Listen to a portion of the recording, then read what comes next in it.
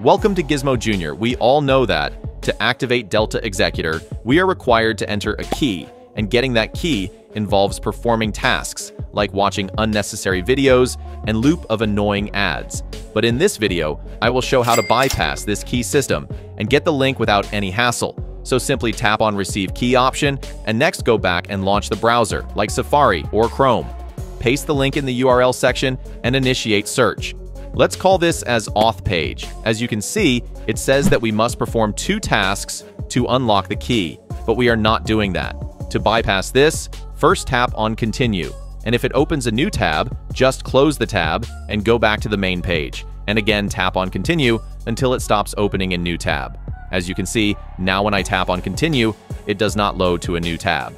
So once it loads to a new page, just copy the entire URL. Next, open a new tab and visit this website as shown on the video. On the website, just paste the copied URL and simply tap on Bypass URL. You will get this pop-up, just tap on Open, and it will open the auth page. If you notice, we have completed one task, even without actually performing it. Now we will redo the same steps like we did before for the second task, exactly the same. So just tap on continue and do exactly the same as demonstrated before, and once we reach this page, simply tap on continue.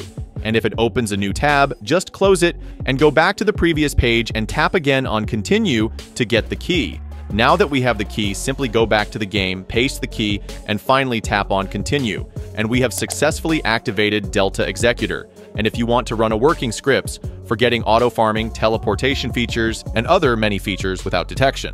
As shown in the video, watch my next set of videos and subscribe to my channel.